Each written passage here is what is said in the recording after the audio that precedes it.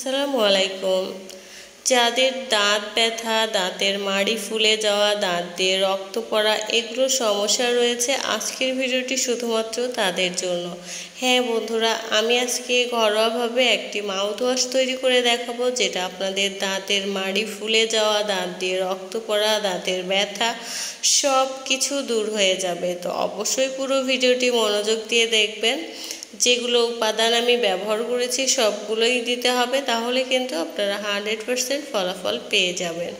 তো যাদের দাঁতের সমস্যা রয়েছে, দাঁত ব্যথা এমন একটা কষ্ট বা যন্ত্রণাদায়ক ব্যথা যেটা হলে আমাদের মাথার ব্রেনে গিয়ে আঘাত করে, মস্তিষ্কে আঘাত করে এতটা অস্থির লাগে, যাদের দাঁত ব্যথা হয়েছে তারাই শুধু বোঝে।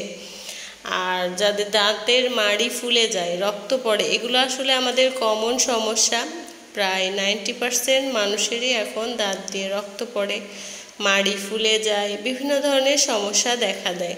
তো আমি এই মাউথ ওয়াশটা তৈরি করার জন্য প্রথমত এখানে দিয়ে দিয়েছি কয়েকটা দারুচিনি। আপনারা অবশ্যই সবগুলো উপাদান দেওয়ার চেষ্টা করবেন। আর কিছু উপায় আমি বলে দিব যেগুলো করলে আপনাদের মাড়ি ফুলে যাওয়া একেবারে বন্ধ হয়ে যাবে, রক্ত পড়া বন্ধ হয়ে যাবে। তো এরপরে আমি দুটা এলাচ দিয়ে দিচ্ছি, যাদের মুখে দুর্গন্ধ রয়েছে। দুর্গন্ধ দূর করতেও কিন্তু এই মাউথওয়াশটা কাজ কাজ করবে। তো আমি এরপরে চুলাটা জ্বালিয়ে দিয়েছি, দেওয়ার পর দুইটা এলাচ এবং দারুচিনি দিয়ে দিয়েছি। তো আপনাদের দাঁতের সমস্যা বা মাড়ির সমস্যা যাদের রয়েছে, নিয়মিত আপনাদেরকে ব্রাশ করতে হবে দুই বেলা। আর ম্যাসেজ করতে হবে মাড়িতে। ম্যাসেজ করলে আপনাদের রক্ত সঞ্চালনটা বৃদ্ধি পাবে, মাড়ি ফোলাটাও বন্ধ হবে, রক্ত পড়াও বন্ধ হবে। তো এরপরে আমি দিয়ে দিয়েছি কয়েকটা লবঙ্গ বা লং, যে যেটাই বলেন সেটা দিয়ে দিয়েছি। এগুলো কিন্তু আমাদের দাঁতের জন্য অত্যন্ত কার্যকরী, বিশেষ করে যাদের দাঁত ব্যথা করে। যাদের দাঁতের মাড়ি ফুলে যায় সব কিছুর জন্য এই মাউথ ওয়াশটা কিন্তু হান্ড্রেড পারসেন্ট কার্যকরী কীভাবে ব্যবহার করতে হবে এবং কি কি উপাদান আমি দিচ্ছি, অবশ্যই সবগুলোই দিবেন, তাহলে কিন্তু হান্ড্রেড পারসেন্ট ফলাফলটা পেয়ে যাবেন আপনারা। তো এরপরে আমি দিয়ে দিলাম ছয়টার মতো গোলমরিচ। গোলমরিচের গুঁড়ো দিলেও হবে বা আস্ত গোলমরিচ দিলেও হবে। তো সবগুলো উপাদান দিয়ে আমি নেড়ে চেড়ে নিচ্ছি, আপনারা দেখতেই পাচ্ছেন। আর আপনাদের দাঁতের মাড়ি ফুলে গেলে আপনাদেরকে বেশি বেশি করে মাসাজ করতে হবে।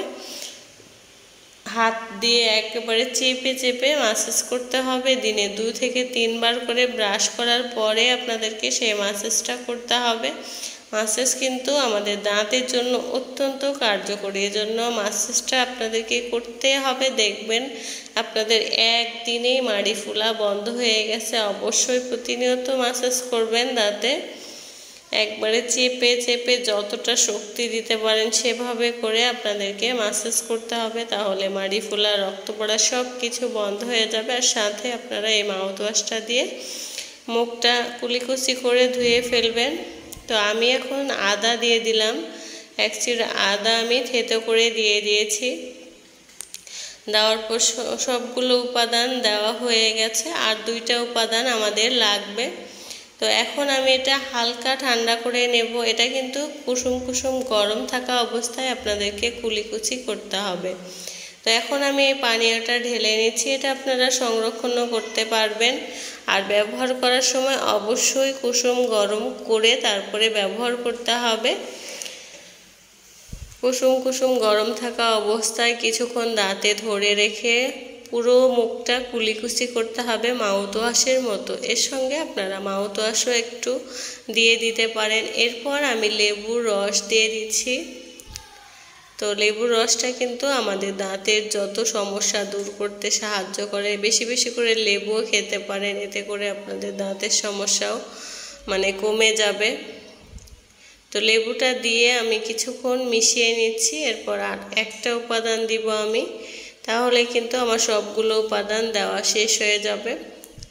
আর যাদের দাঁতে ব্যথা হয়, এই ব্যথাটাও কিন্তু দূর হয়ে যাবে। এখন আমি লবণ দিয়ে দিচ্ছি। প্রায় হাফ চামচের মতো এখানে লবণটা একটু মানে পরিমাপটা বুঝে শুনে আপনাদেরকে দিতে হবে দেওয়ার পর। সবগুলো উপাদান মিশিয়ে নিয়েছি। এখন আপনারা মুখে ধরে থাকবেন আর কুলি করবেন। আপনারা মানে দিনে অন্তত তিনবার করে কুলি করবেন। মুখে একটু করে ধরে থেকে থেকে আপনাদের দাঁত ব্যথা সব কিছু দূর হয়ে যাবে। আজকের মতো আল্লাহ হাফেজ।